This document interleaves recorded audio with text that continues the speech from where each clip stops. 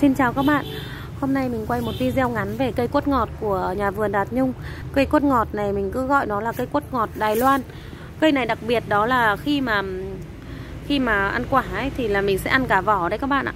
Cây của nhà vườn Đạt Nhung đang mùa vụ này rất là nhiều hoa, nhiều quả. Cây đã ở tuổi trưởng thành.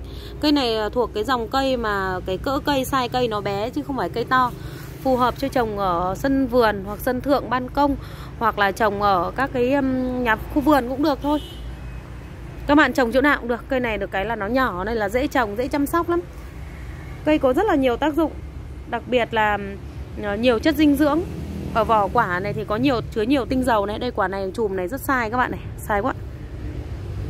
Quả của cây là cung cấp các cái vitamin C vitamin A B2 chất xơ mangan, sắt magie và đồng cùng nhiều cái nguyên tố vi lượng khác. Cây ờ, chủ yếu sử dụng để ờ, chữa ho do phong hàn, chữa các bệnh ờ, đường tiêu hóa như đau dạ dày hoặc nôn mửa, chán ăn, điều hòa và cải thiện các chức năng của gan. Kích thích tiêu hóa và chống nôn, chống nấc, chống các cái hạch nó xuất hiện trên cơ thể của con người.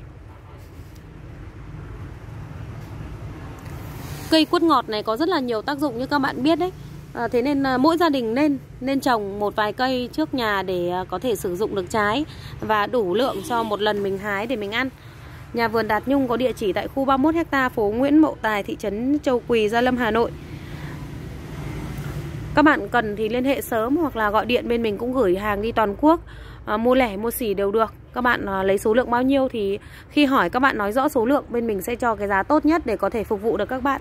Chứ cũng đừng sợ đắt rẻ bởi vì mua của nhà vườn mình chắc chắn là rẻ hơn các các nơi khác rồi nên là không phải lo đâu ạ. À, vì cái cây này có nhiều tác dụng như thế nên là các bạn ờ, cũng nên lưu ý nhá. Ai mua thì để lại số điện thoại ở bên dưới bài đăng hoặc là tốt nhất là nhắn tin vào zalo để chốt đơn hàng với nhà vườn đạt nhung. Cảm ơn mọi người nhiều và mình xin phép dừng video tại đây ạ.